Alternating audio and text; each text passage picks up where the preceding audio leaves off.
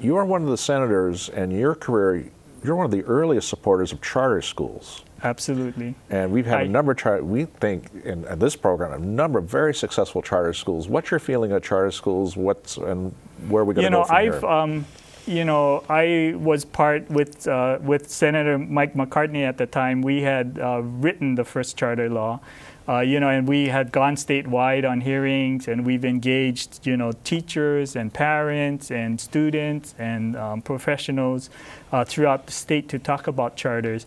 You know, and when we had um, passed the law, it really was about in e equipping the school with the ultimate waiver, you know, the waiver of all laws and procedures and bureaucracies mm -hmm. uh, to give them a chance to put um, uh, what should be taught and how it should be taught uh, first rather than bureaucracy.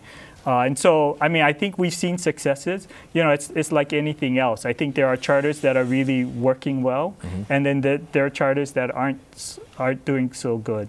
Now, two years ago, we rewrote the entire charter law right. uh, to be more along the model, and we increased the accountability. So charters are now getting performance contracts with the, the Charter Review Board. There will be explicit um, performance standards that they have to be met, and then there will be, even though the, the law from the very first day required a review of charters, they've never implemented the law. And so the new board will has initiated the process so that charters will be reviewed on a regular basis to ensure that um, students are getting the education that they deserve.